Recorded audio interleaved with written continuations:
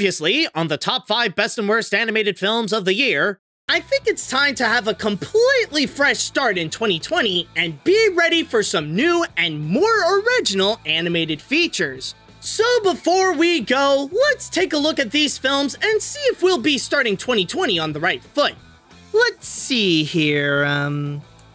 Don't know if I want this, Pixar. Looks great, but the movie might not be. Please let this be the comeback of Hanna-Barbera it deserves. As a SpongeBob fan, looks like it can be fun. I know I want this, Pixar! Fine, you can have one more movie, but make it worth it. I don't watch the show, but I am curious about this. Sounds lame, but I could be wrong. This is gonna be epic! I can feel it! And are you sure people still want this after all these years? Because I don't, to be honest. See you later, dudes!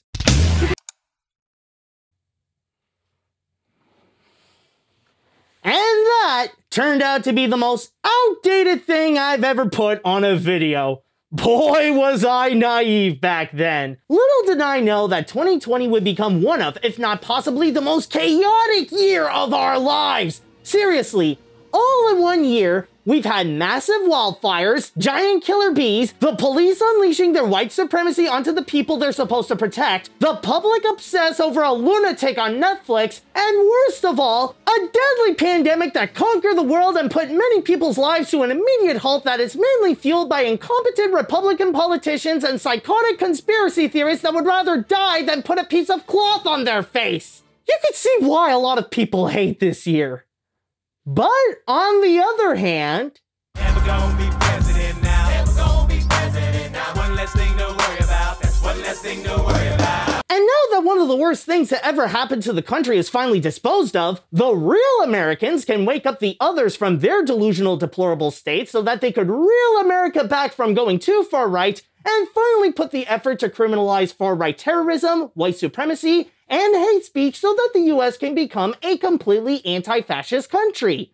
So, 2020 can't be all that bad, right? But, anyways, in terms of movies, the year was the most damaging to the film industry, especially when most cinemas closed down and movies had to either migrate to next year or skip the theaters entirely to go directly at home on digital or on streaming services. So it's safe to say that it was a very tough year for the industry with very few features worth mentioning, and that includes animation. And yet, I still have enough to make a list like this. Just like 2020 itself, this list will be a little more different than previous years. Not only will I be including the animated films that came out in theaters and the ones that were planned to and then went to digital, but I'm also including some of the more notable ones that appeared in streaming services like Netflix. I think it's time for even me to recognize that they are also a major competitor worth looking into and analyze. I'm Animat, and these are the top 5 best and worst animated films of 2020.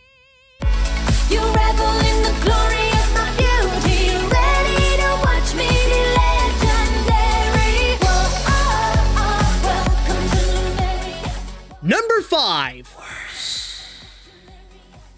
Before I begin with the worst of the year, I just want to put out a big disclaimer that none of the movies I'll be listing here are technically bad. On average, these movies are in the category of decent at best and mediocre at worst. So if I put any features that are more notable for you among the worst, I'm not saying that they are bad. It's just that there have been better ones than these during 2020. So with that out of the way, let's start this off with The Croods A New Age. It had been a long time since people last saw the latest modern Stone Age family. In a way, calling the sequel A New Age does make sense, because it does feel like the first film came out at a completely different age. So, after almost 8 years and scrapping the original concept to rebuild it from the ground up due to the studio's acquisition by Comcast, the Croods finally returned, mostly the same and carrying some of the issues from before.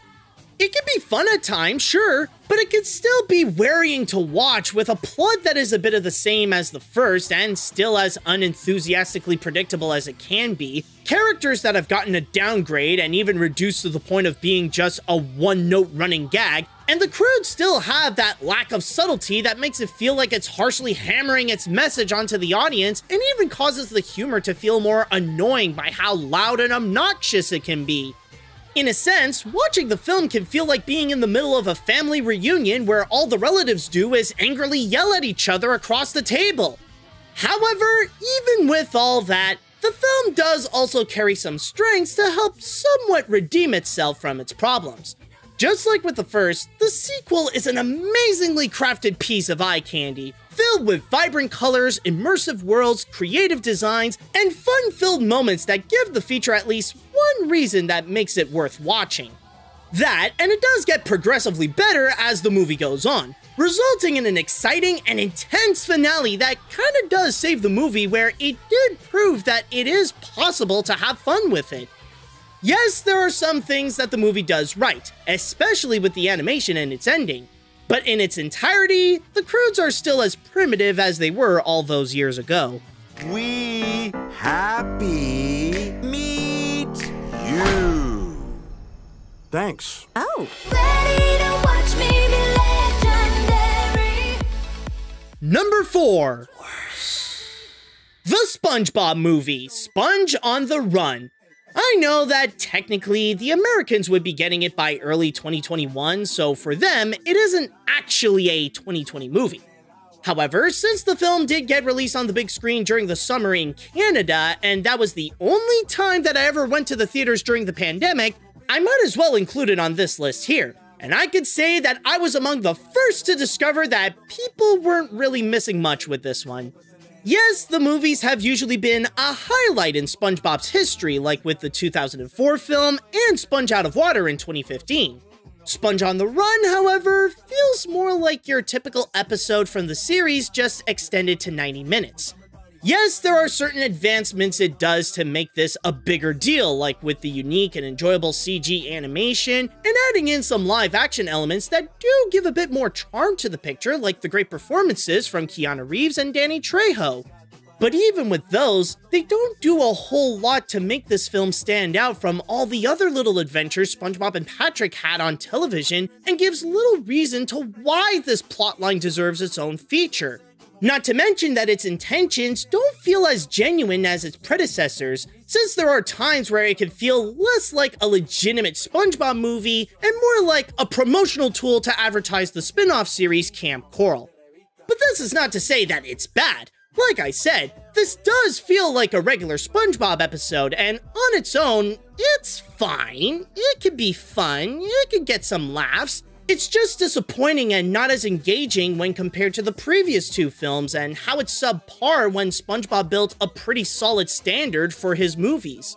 SpongeBob may have lost Gary, again, but the movie lost so much more that would have made itself as good as its predecessors. Oh, I love your sense of irony, Patrick. Thank you. I love my sense of ironing too.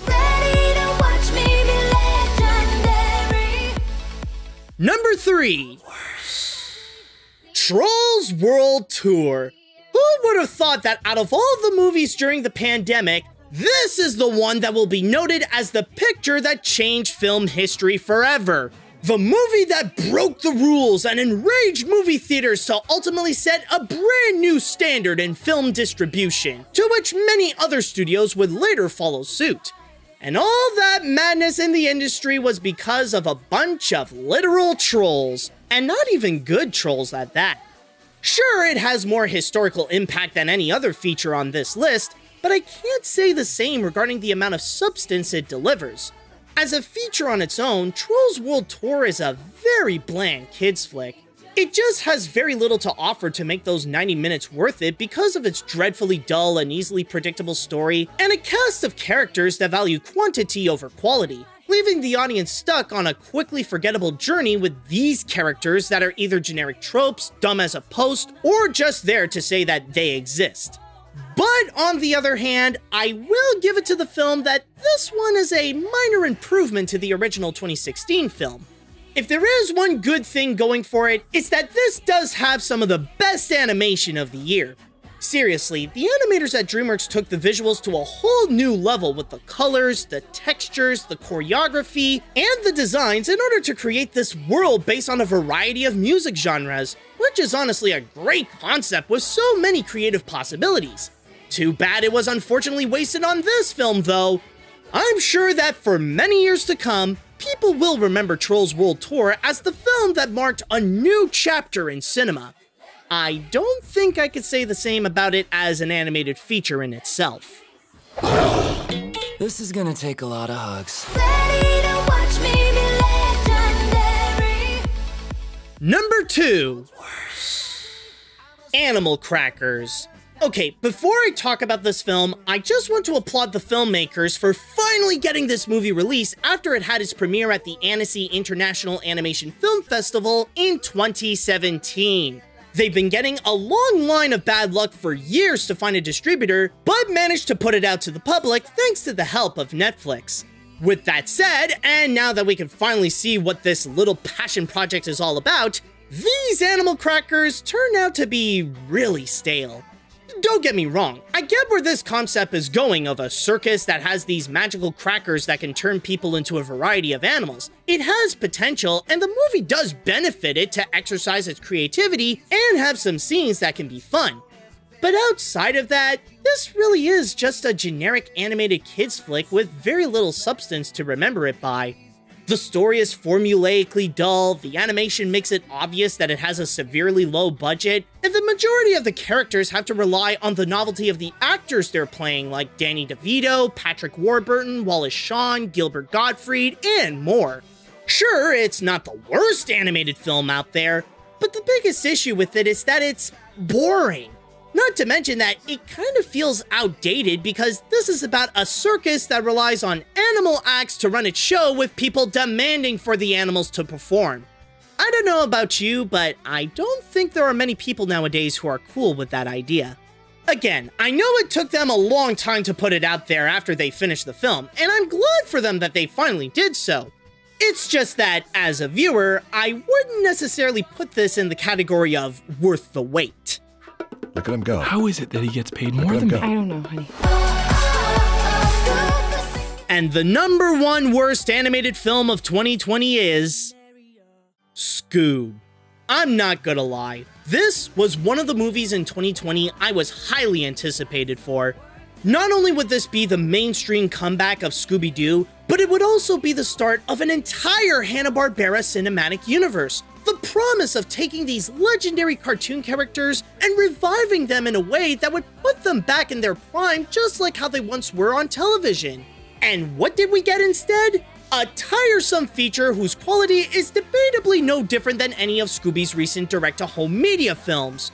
Sure, it does have some fantastic animation that adapts the classic television style onto CGI, and it can be fun to look out for all those Easter eggs to other Hanna-Barbera properties, but it doesn't change how terribly weak the execution turned out to be. All that animation and little cameos can't do much to fix the writing that provided an uninspiring story that tests the friendship of Shaggy and Scooby in a predictable way, characters that are possibly some of the most forgettable versions of themselves, and comedy that has less of the good ones from the animators and more of the horrible ones from the screenwriters.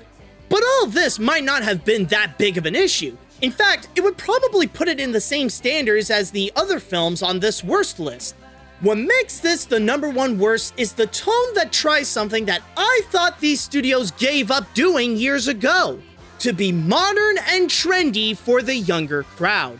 This is the kind of film that is filled with tedious pop culture references, random use of modern and out of place songs to fill in as the soundtrack, and the controversial choice of replacing most of the veteran voice actors with recognizable celebrities that barely even sound like those characters in the first place.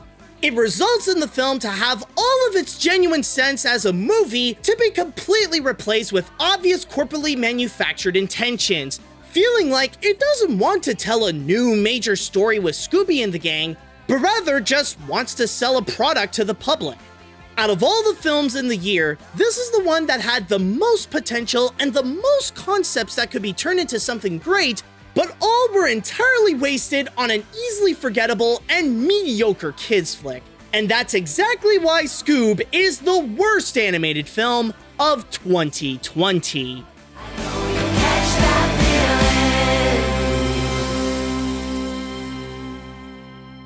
Now, before we get into those rare occurrences that are actually good in 2020, I'd like to have an honorable mention.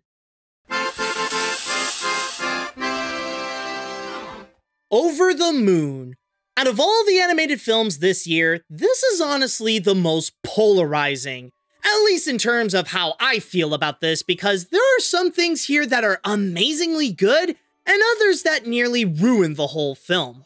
On one hand, this has possibly some of the best animation you could ever find on Netflix. Beautifully designed, bursting with creativity, strong use of Chinese mythology, vibrantly colorful, and highly detailed to make the environments largely immersive. That, and it does have a powerful message about moving on after a loved one dies, allowing the movie to have its heart and soul to connect with audiences with a subject that can be personal for many. And I'm sure it's something that even the filmmakers had to go through with the passing of the film's writer, Audrey Wells. Then again, as great as those elements can be, it could have been among the best if it weren't for those detestable characters. I mean, I can get what they're going through, and some are written pretty well. It's just that they can be categorized as either despicably bitter or downright annoying with their failed comedy. They ultimately give the feature this mean-spirited tone that it makes it hard to go through this journey when there's nobody to really like while on the moon. And since this is also a musical, the songs themselves are, well, decent. Not so bad as it does try to have that Disney-style grandiose to it, but nothing that can pack a punch as what it wants to be, and the most memorable thing about them anyways is the animation that accompanies the musical numbers. It could be a massive mixed bag, but for what it did right, it did it wonderfully, and does have some reasons for viewers to go on a rocket to the moon. It's real, right, Papa? Uh. Number 5 Onward. Let's be honest, this is not Pixar's best film. This is one of those times where one of their movies had the quality go down a bit from amazingly great to just good. Then again, just good is still good, and they still made something enjoyable with this one. While the concept is rather weak with the whole idea of modernizing medieval fantasy and have the characters go on a typical mystical quest like some Dungeons and Dragons adventure, its execution does try to make the most with its ideas and turn them into a fun-filled feature. It's more of the generic and forgettable side on the things they have established, yes, but the story is still engaging and filled with action-packed moments with magic that take their effects to the next level, and actors who lend their voices to give some great performances that make the characters enjoyable to tag along with. But even if it doesn't have the same standards as a Pixar film, it certainly has the heart of one. Director Dan Scanlon stated that this story was inspired by his own father who died when he was little and the relationship with his brother when growing up. And it really shows that he and his team turned that personal experience into a heartfelt journey that can shed a tear at certain moments. And it's from those personal intentions to share the feelings of connecting with a lost loved one that makes this film worthwhile. Again, it's far from Pixar's best and certainly not the most original idea they came up with, but it's certainly one of their most touching features that made the quest worth exploring for. I'm giving you to the count of three. Uh, okay. Wait, what are you doing? I don't know. Oh, son of a- Number 4 The Willoughbys. One of the most common source materials to turn into an animated film is children's books, and they can come with varying results. Sometimes they can be great, and sometimes they are definitely not.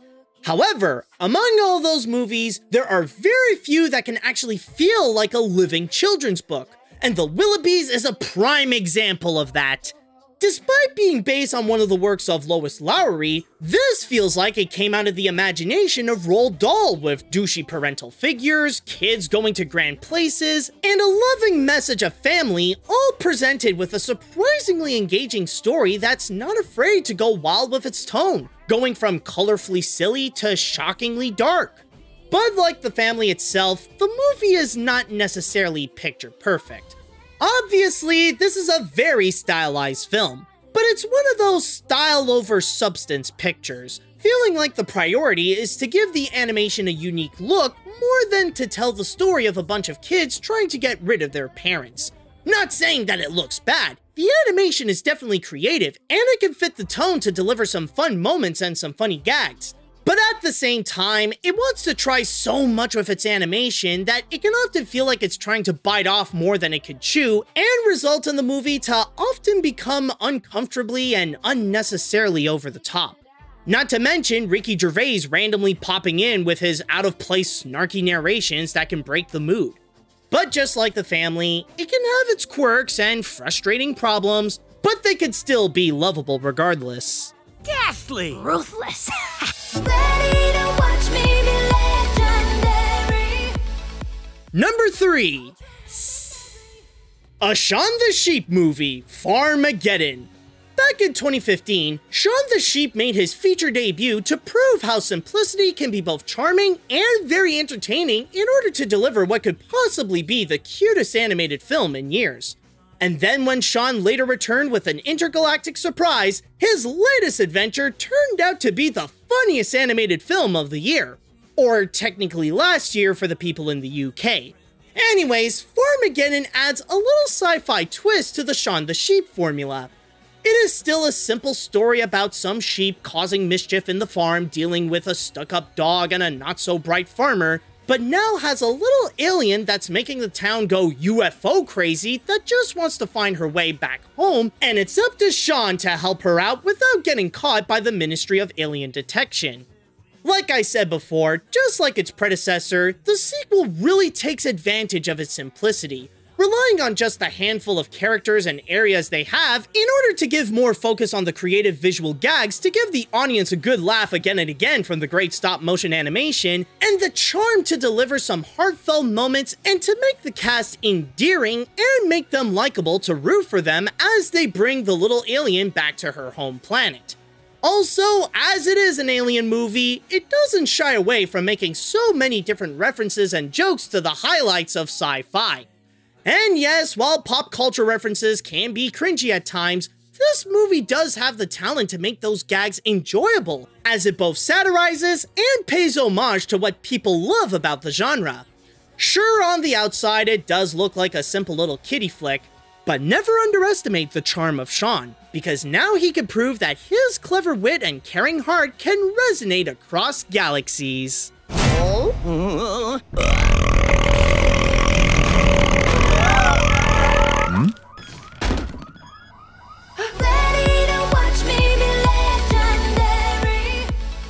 Number 2 Wolfwalkers.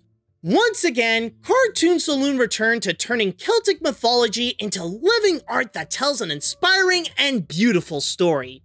While it does follow the same footsteps as The Secret of Kells and Song of the Sea and features a similar formula as those two, it still manages to deliver its own voice to make it different enough to deliver a unique experience that cannot be found in any other piece of animation. The visuals deliver a beautiful blend of designs that feature abstract animation and old Irish medieval art with a hint of the woodblock print style, capable of capturing a look that embraces symmetry and geometry and gives a new meaning to 2D animation that can make the most out of filling the space in all the right ways. Like I said before, it can really feel like art coming to life. But animation alone is not what makes Wolfwalkers a newfound animated treasure. The movie also features an unforgettable story of the bond between two young girls named Robin and Maeve, where human colonization threatens the wolves' home and the girls do what they can to save themselves and find Maeve's mom. As the animation may be dazzling at first, that's when the story comes with an unexpected emotional punch to turn the movie into a highly engaging, intense, and tear-jerking journey of a couple of girls and a pack of wolves taking on an entire kingdom. As it is from an Irish studio like Cartoon Saloon, some can say that it technically counts as an independent feature, even if it was released on a prominent streaming service like Apple TV+. And while it can be true, since it has plenty of those indie traits, that's exactly what makes this so good. It didn't have to follow any of the mainstream rules and focus on just making its own art to tell its own story. There have been very few movies that could accomplish what Wolfwalkers did, and it made audiences never forget when they went out to go running with the wolves. Robin, something's happened to me. Yeah, I can see that. It's flippin' great. And the number one best animated film of 2020 is. Soul.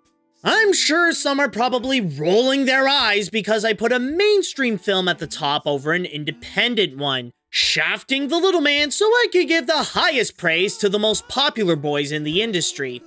I just want to state right now that choosing the number one best of this year was the hardest decision to do for this list. Both Soul and Wolfwalkers are near perfect features in their own right, and I adore them equally. But in order to choose which one would get the gold, it really went down to the finest detail to determine which film did it better.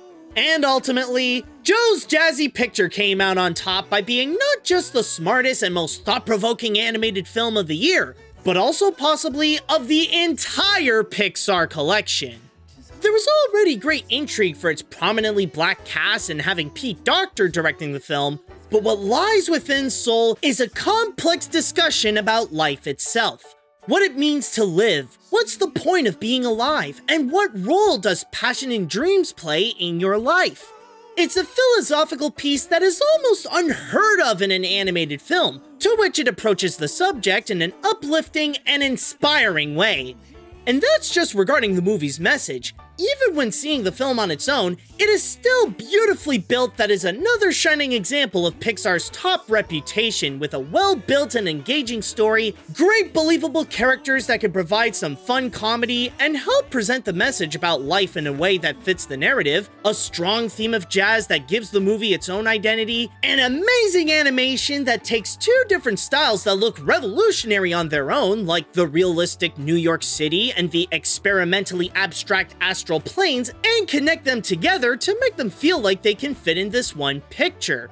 Sometimes it's expected that Pixar would turn out an amazingly crafted film, but even this has managed to surpass its own standards, which is why many are even going as far and say that it's one of the best from the studio, and I can understandably see why. This isn't just a movie that can entertain, it can make you think, it can inspire, and it can give you a new point of view on life. And for achieving what can be considered almost unheard of for a movie like this, it is exactly why Soul is the number one best animated film of 2020. Everybody knows that it's alright. And that's all I've got for the top 5 best and worst animated films of 2020. Considering that many state that 2020 is one of the worst years ever, we only got nowhere to go but up for 2021. And let's hope it can reflect on the year's animated films as well. Also, with the way the pandemic really messed things up with the schedule, don't expect what I'm about to list here to be set in stone. You never know what changes can happen, even in 2021. Anyways, let's see what we might get here. This could be fun, if they ever have a plan to release it. I was hyped when this was scheduled for 2020, and I'm still hyped now. This is gonna suck. I don't know about the show, but I know the 2002 movie. Does that count? Give me more Lin-Manuel Miranda music! Oh, this is gonna make me cry, will it? I guess, but I'm just hoping this doesn't get franchise fatigue. Oh boy, we're really doing this, are we? Oh no, not again. Oh no, not again. Oh no, not again. Give me more Lin-Manuel Miranda music. And finally, oh no, actually, I kind of like the first, so maybe this will be harmless. See you later, dudes. Oh, and until you get your vaccine and we got the okay from medical experts, wear a mask.